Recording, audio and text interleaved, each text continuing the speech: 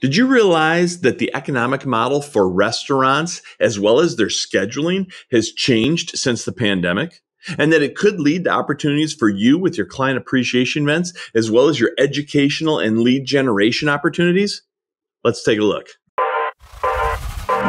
This is The Rare Advisor, proud to be a part of the Advisor Advancement Network and home of a business model supercharged by recurring and repeatable events. Your host is Mike Walters, CEO of USA Financial. He is an investment advisor representative of and securities are offered through USA Financial Securities, member FINRA SIPC, a registered investment advisor. So, in the previous edition of The Rare Advisor, we spoke to the fact that clients are living alone at a much greater rate than they have in the past.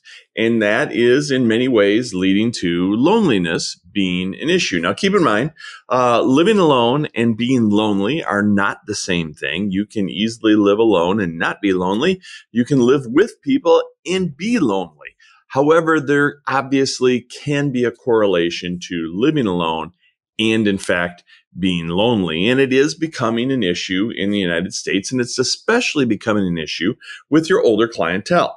And generally speaking, in the world of financial services, if you are a comprehensive financial advisor, as you likely are if you're paying attention to this channel, uh, the fact is that your clientele are aging. Your clientele are probably uh, in the ages 50, 60, 70, 80 range, because that's simply where the largest percentage of wealth is in the United States. Now, I spoke to this concept before, but just a brief touching on this in case you didn't see the previous video.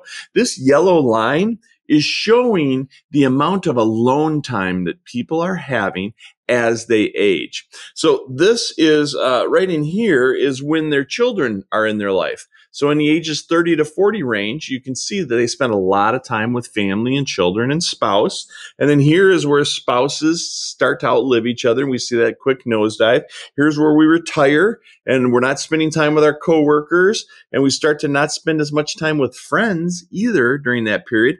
And we spend as not as much time with our children as we age as well. So all of these factors are, are increasing the likelihood that you need to help assist as a financial advisor in the lifestyle component of your clients. Now, we talk all the time about comprehensive financial advice is more about lifestyle than it is about the dollars and the cents.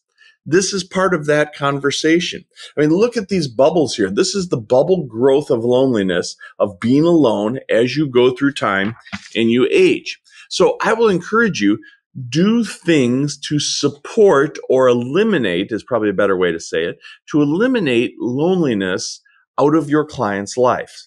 You will create an adherence to them that is an unbreakable bond that goes beyond the, the numerics of the plan. I know many of you are already doing a fabulous job with your clientele, engaging them in so many different ways and helping them improve their lifestyle.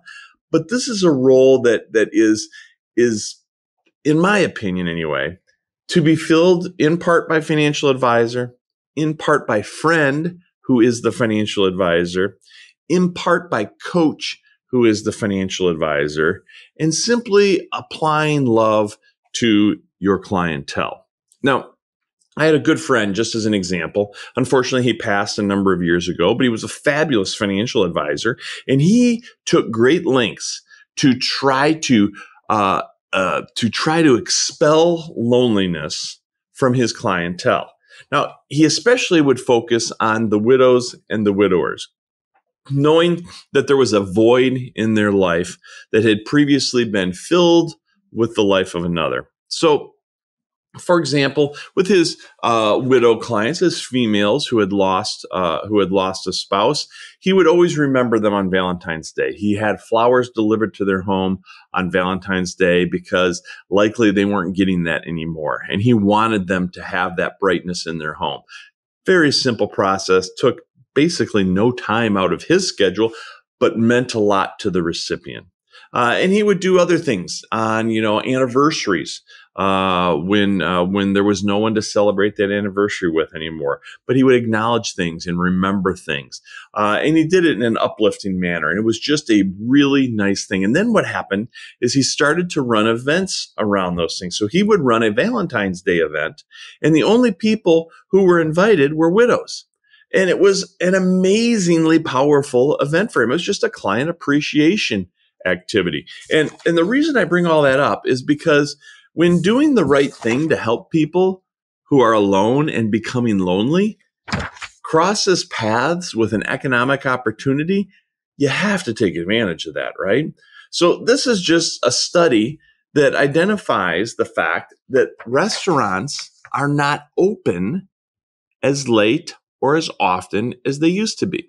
Part of it's because of the, the lag and the hangover from the pandemic. Part of it's because of lack of employees. Part of it's because they've re identified their margins in when they were basically losing money on certain days and have kind of negated the, the, the issue, which used to be a lost leader issue in restaurants where you had to be open on certain days in case somebody wanted to come because if they came and you weren't open, then on the days that would normally be popular, they might not think to come.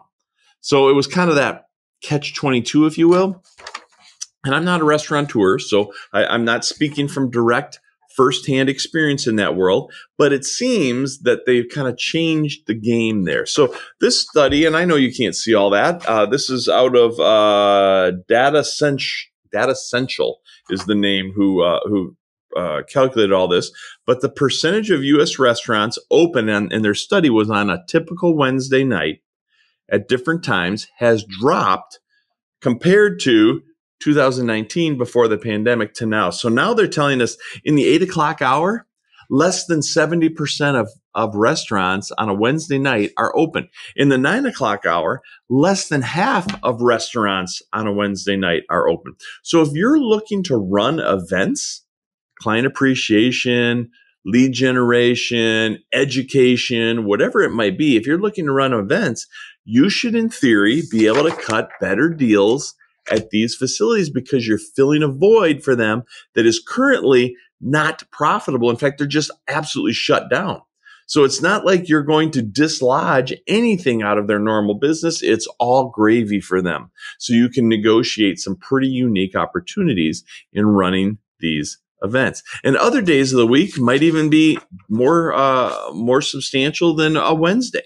Uh, I would imagine Mondays and Tuesdays are not overly popular either. Thursdays, Fridays, Saturdays, obviously it's a different ball game.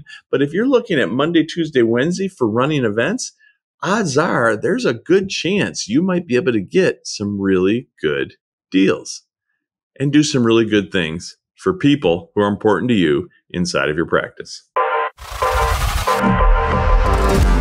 This information is for licensed financial professionals only and is not intended for use in soliciting sales from the public. The views expressed represent the opinions of the presenter or their featured guest, not necessarily those of USA Financial or its affiliated subsidiaries. Industry references are generic and not intended to represent actions or beliefs of any individual or entity. Content is only presented to illustrate general principles, beliefs, or ideas and should not be construed as legal or regulatory advice. Trademark and copyright protected. USA Financial and affiliates.